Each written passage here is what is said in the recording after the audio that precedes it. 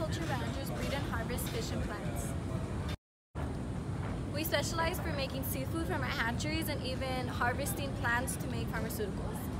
I currently have my bachelor's degree and I make 47000 a year. And now look at my fish!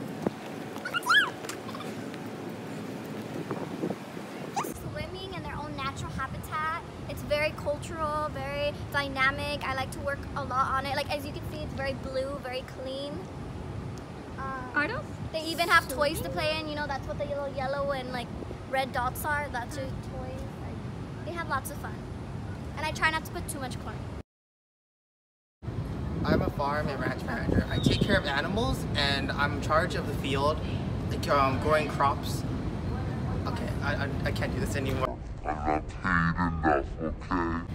I just got out of college with a bachelor's degree.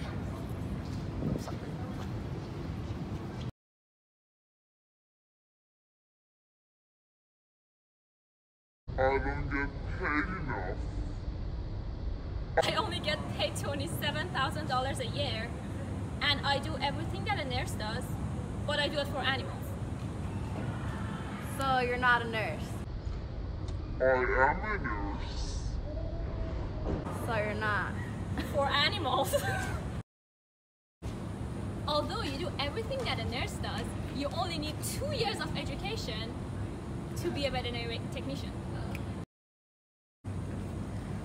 As an animal scientist, I do research on several animals, including farm animals, pets, And zoo animals.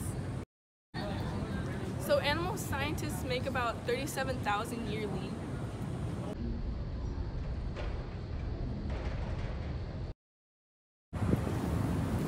I got the horses in the back. Okay. I need your help with all these, their nutritional requirements. Okay, I got the carrots and the apples for you. The rest, I don't have them on the ranch. I'm sorry. So, will that do? Sounds good. Alright.